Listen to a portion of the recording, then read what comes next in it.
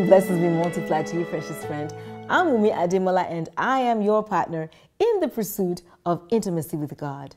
For a couple of weeks, we've been discussing the three things that God does when He decides it's time to promote you.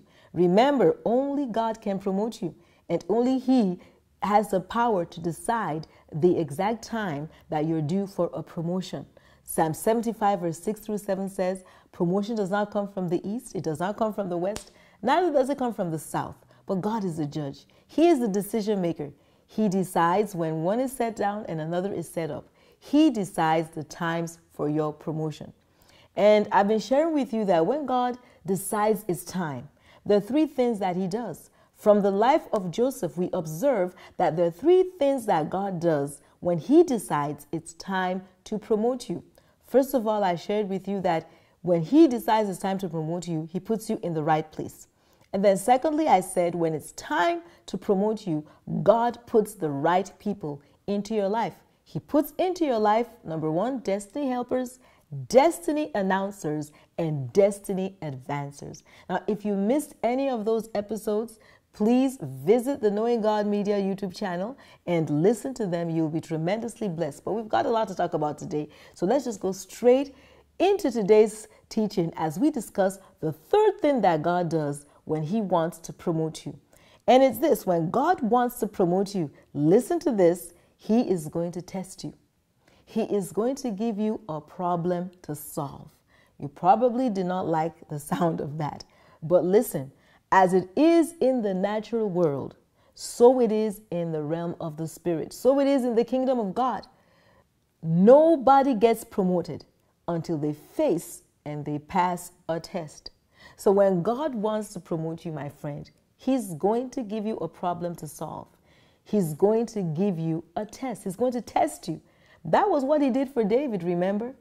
Before David could qualify for the promotion God had in store for him, he had to face Goliath.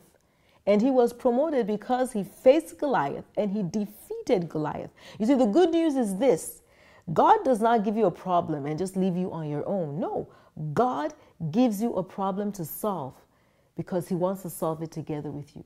As a matter of fact, the test, when I say God will test you, please, and I need you to understand, when I say God is going to test you or that God is going to give you a problem to solve, I am not referring to tragedy. God does not test with tragedy. The Bible says God does not test with evil. Listen to this. If you are facing an attack, if if something is attacking your well-being or your li- or threatening your life, my friend, that's not a test from God. That is an attack from the devil, and you need to take authority against the devil and, and, and defeat him in the name of Jesus Christ. A test is quite different. When God tests you, what it is is that He's giving you an opportunity because of the circumstances in your life, He's giving you an opportunity to apply your faith. So, really, the tests of God are really opportunities to put our faith into action. And that was what God did for Joseph. That was what God did uh, for Joseph. Now, Joseph had been interpreting dreams all through his life. That was the gift God had given him. But when God was really going to give him that big break, he presented to Joseph a dream bigger than anything he'd ever interpreted before. And that was Pharaoh's dream on a national scale, on a national level. That was what happened to him. You see, the Bible says in Psalm 105, referring to this account, the Bible says in Psalm 105, verse 19, that until the time that his word came to pass, listen to this, the word of the Lord tested him. That's referring to Joseph. The word of the Lord tested him. God gave him opportunity to apply his faith. I like how one translation says it. It says, His word tested Joseph and proved him worthy. So, anytime you are in a situation in your life that calls for you to put the word of God that you've learned into practice, that is a test. And tests could be simple, tests could be hard, but God has given you and me what it takes to pass every test of life, and that's the word of God. So, the more you practice the word of God in your life, the more you are worthy in God's sight for a promotion. And so that was what happened to Joseph. In Joseph's case, he was presented with this huge problem to interpret Pharaoh's dream. And it was an opportunity for him to exercise his faith as well as demonstrate his trust in God. That's what tests are giving you the opportunity to demonstrate your trust in God. Let's go to Genesis chapter 41 and let's see. I really want to read a, a, lot of scripture for you to really see how the whole thing played out. Let's take it from verse 8. Let's take it from verse 8. The Bible says in Genesis 41, verse 8, Now it came to pass in the morning that his spirit was troubled. This is referring to the spirit of Pharaoh. Pharaoh was troubled because he had this dream. He had these two dreams that, you know, he, he couldn't understand. And the Bible continues and says that Pharaoh sent and called for all the magicians of Egypt and all its wise men. And Pharaoh told them his dreams, but there was no one who could interpret the dreams for Pharaoh. Nobody. There was this huge problem that nobody could solve. And guess what God does? God organizes and orchestrates things to the point that Joseph is given the opportunity to solve a problem that nobody else in the land could solve. I tell you, when God is fixing to promote you, He's going to allow you to be presented with a problem nobody else could solve in your office, or, or, or, or, something no other business could supply. Now, don't just throw up your hands and say, This is impossible. This has never been done before. My friend, it's a setup for your next level. Because when you solve the problem nobody else can solve, you will get the promotion that nobody else got. And that was what happened. The Bible says in verse 14, let's continue. Verse 14 Pharaoh sent and called Joseph. Nobody else could solve the problem.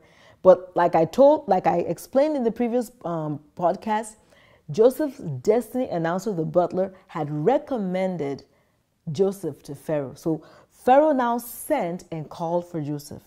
And they brought him quickly out of the dungeon. And he shaved and changed his clothing and came to Pharaoh. And Pharaoh said to Joseph, I have had a dream, and there is no one who can interpret it. But I have heard it said of you that you can understand a dream to interpret it. I want you to listen to Joseph's response in verse 16. He now says, So Joseph answered Pharaoh, saying, It is not in me. God will give Pharaoh an answer of peace. Can you see that? God presented Joseph with an opportunity to demonstrate his trust in God and to exercise his faith in God. Because when God tests you and you put your trust in him, God will give you that answer. God will answer solve that problem and that will lead to your promotion. So God Joseph told Pharaoh that the answer is not in me, but I have a God. I have a great big God, and I know that God can solve this problem through me. And I'm going to give you that answer. That answer that's going to calm your troubled mind. And of course, we know the story that Joseph gave him that answer after he heard the dreams from Pharaoh. He interpreted the dream, he gave uh, Pharaoh great advice as to what he, he, he had to do. Look, look at what he said. Look at what he said right now. Verse 37 He advised Pharaoh exactly as to what he ought to do.